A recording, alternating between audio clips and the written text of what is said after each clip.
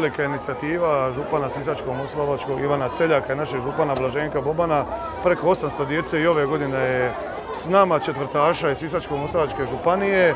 To je najmanje što naša županija može učiniti za ovu djecu koji su imali, možemo reći, jedan izazivan period života unutar nekoliko godina i Splitsko-Dalmatinska županija se ovim putem želi pokazati kao dobar domaćin, pokazati našu bogatu kulturnu i prirodnu baštinu, dakle same palače poljuda, torcide, arheoloških spomenika, mora, supetra i svih onih blagodati sunca i mora koji nudimo. Ja se nadam da će ova djeca uživati i da će svoja srca ispuniti radošću i tako i se vratiti u Sisak. Ako oni se vrate sretni, mi ćemo biti i tekako oduševljeni. Ja se nadam da ćemo se idući godina također vidjeti, jer sreća djece je zapravo misija našega posla.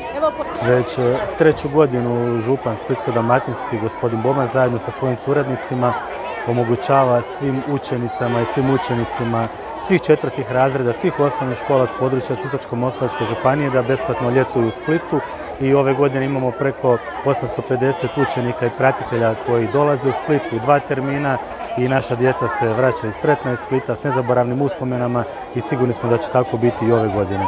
Evo nas je ukupno 400 djece i jedno 30 učitelja.